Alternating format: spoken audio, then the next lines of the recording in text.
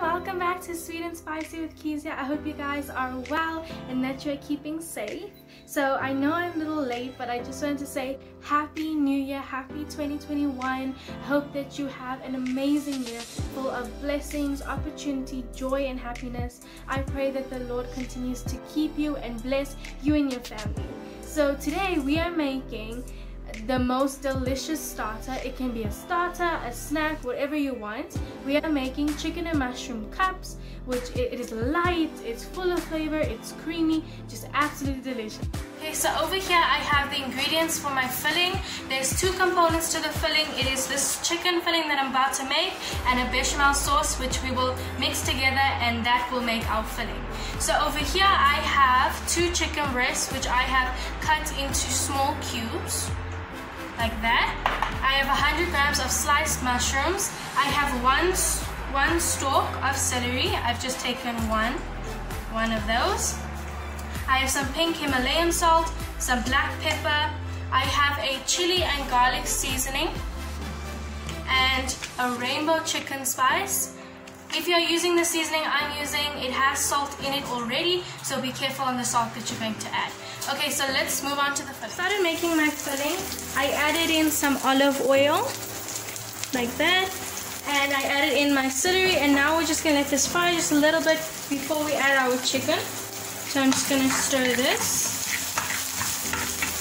You don't want this to get too soft because you still want a bit of a crunch.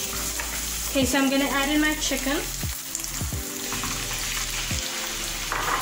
And we're just going to saute this until the chicken is brown.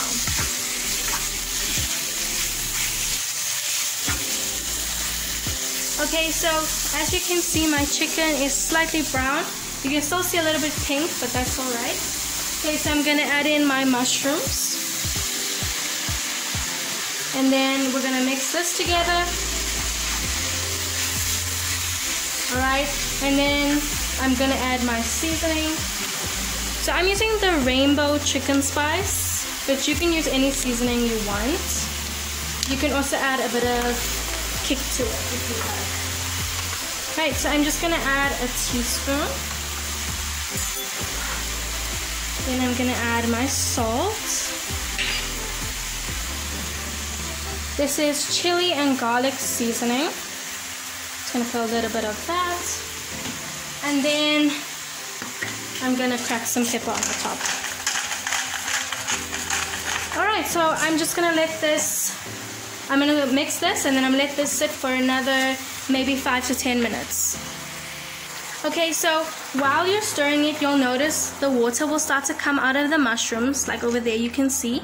We're gonna cook it until the water is all dried out Okay, so these are my two components of my filling. You can see my chicken is all done and it smells delicious.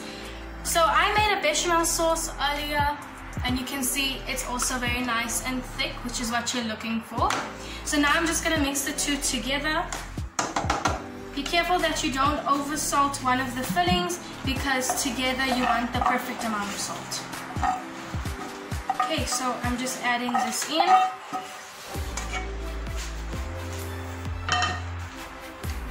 Okay, and then we're just gonna mix this together. And this is our filling. So I'm gonna let this cool while we roll out our pastry. Okay, so now we're gonna roll out our pastry. I have a muffin tin that I have just greased. I ran out of spray and cook, but you can just spray it with that to grease it. It's a very crucial step, otherwise your cups are going to get stuck. Alright, so I'm just gonna flour my surface.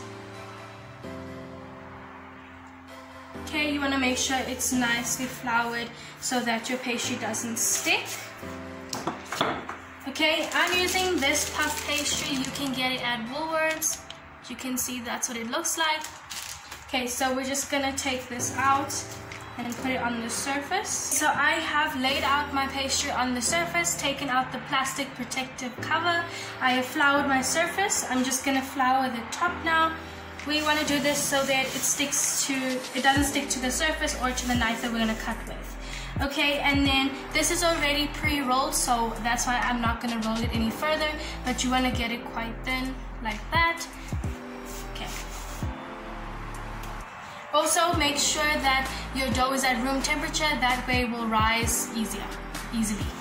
Okay, so I'm gonna cut it and I want about 12 little blocks just like that. I am gonna get more because my pastry is bigger, right, just like that. Then I'm gonna cut this way.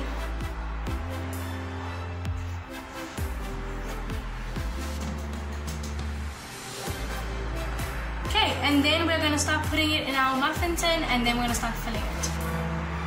Okay, so I got my squares over here and I'm gonna start putting it in my muffin tray.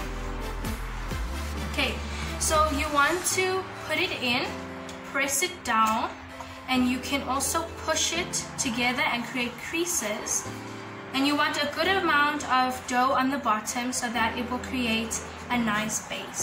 So just like that, we're just pushing it in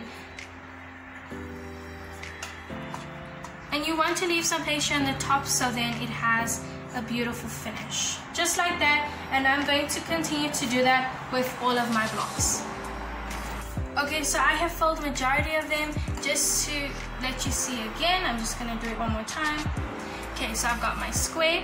We're gonna just push that in and then you want to create a bit of, you wanna create some creases so then you've got a pretty finish. Just like that. Alright, so I'm just gonna finish these two up and then we're gonna start filling them. All my little cups, so I've beaten one egg and I'm just gonna use that to brush whatever is exposed and that is not filled with pudding. Okay, and then we are gonna bake this for about 10 to 15 minutes until the pastry is cooked in a preheated oven of 200 degrees Celsius. So I'm just going to continue brushing this and then I'm gonna throw it in the oven. See when it's done? Okay, so this is what it looks like after 15 minutes in the oven. You can see they're beautifully golden brown. Look how nice that looks. Okay, so that is what it looks like. You can see it looks amazing and it is absolutely delicious. I hope you guys try this recipe. If you do, tag me on Instagram and, and Facebook at Sweet and Spicy with Keziah or send me a message. I'd love to know if you tried it and if you enjoyed it. Um, so thank you so much for all the people who have subscribed to me and have liked my videos. I really do appreciate all the support and love that you've shown me over the past year and I can't wait to continue to make videos for you. So please, if you're not subscribed, subscribe down below so that I can continue making videos and that we can continue enjoying our culinary journey together. So I hope you guys have an amazing day further. Bye!